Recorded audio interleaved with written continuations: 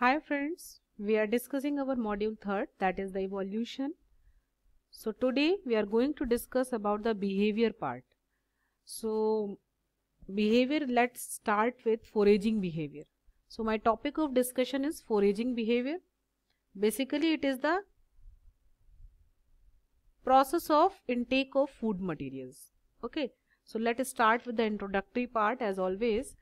So here selection of those foraging behavior that maximize the amount of energy gain per unit time spent in the foraging. Means amount of energy will be maximum as compared to the time spent in foraging or energy investment in foraging. Optimal foraging models will vary based upon the type of foraging and animal species practices given its role in the ecosystem or its niche.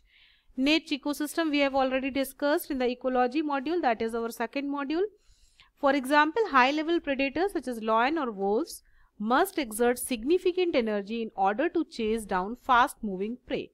Prey predator model we have also discussed but once they have caught their prey, say a gazelle, the dense calorie content of the meat provides a big payoff, allowing them to go for days without having to hunt again. Lion also spend most of their time resting, saving their energy for hunt and may pass up to particular fast gazelle as prey if catching the gazelle requires too much energy output. Okay. So in a foraging behavior, we can say intermediate size of food provides greater net energy. Because if the size of the predator or the prey, size of prey will be large, then the more energy investment will be there and increased net energy gain leads to increased fitness. So foraging it is basically searching for wild food resources. It affects an animal fitness because it plays an important role in an animal's ability to survive and reproduce. Survival and reproduction, these two are basic things for any organism to sustain. So foraging theory is a branch of behavior ecology that studies the foraging behavior of animals in response to the environment where the animal lives. So foraging behavior, this these are the key points related to foraging behavior.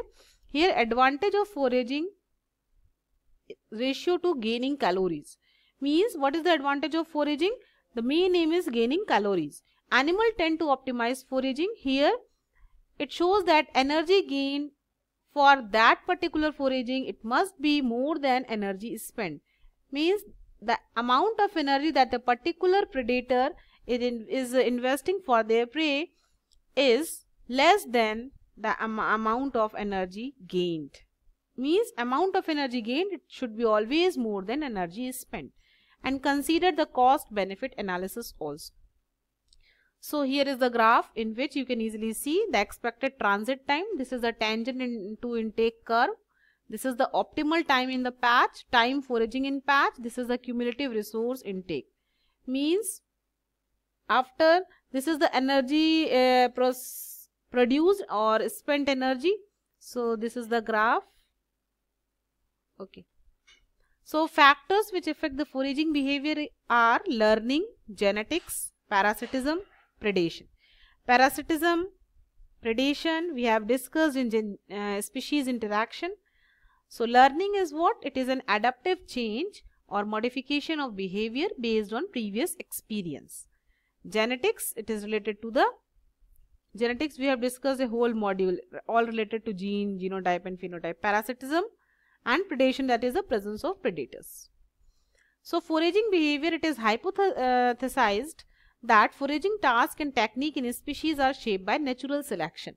Here natural selection select those foraging behavior that maximize the amount of energy gain per unit time spent in foraging so it is a complex and energetically expensive foraging task should be economically efficient. As I already discussed, as I told you, dear friends, as I told you that always the energy gain is, it must be more than the energy investment. And theory of optimal foraging is that organism will be energy maximizers or time minimizer. Means less time and energy will be maximum time minimum, energy maximum. Energy maximizers try to get the most energy out of an environment. Time minimizers try to get the energy they need in the least possible time. Okay. So types of foraging that is the solitary foraging and group foraging. Solitary means alone. There will be no groups. Single. It is in when animal find, capture and consume their prey alone. And what about group foraging? It is when animal find, capture and consume prey in the presence of other individuals. So group and solitary.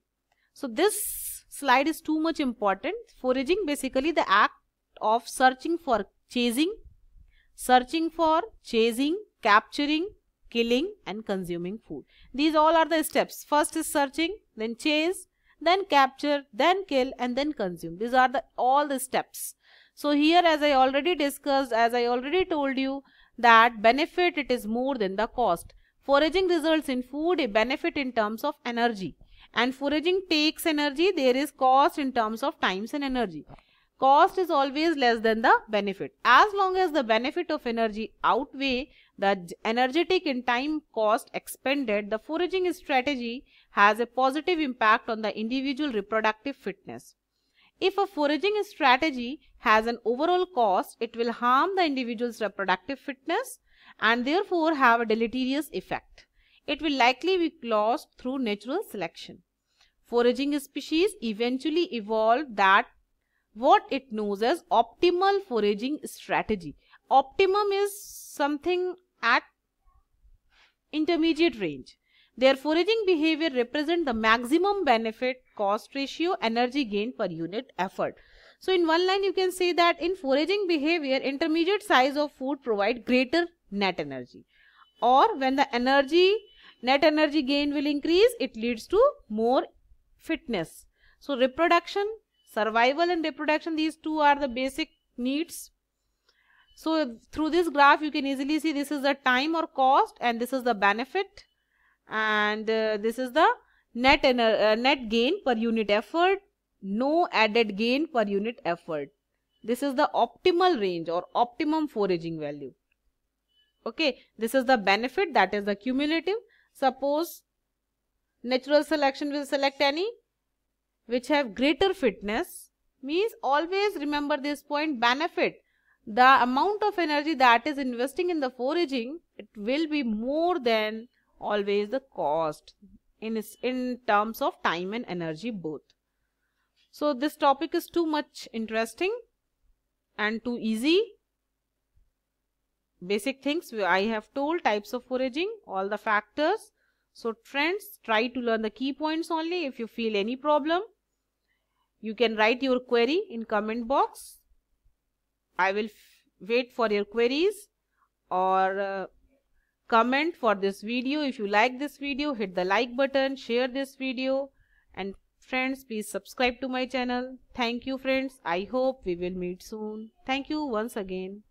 Bye bye.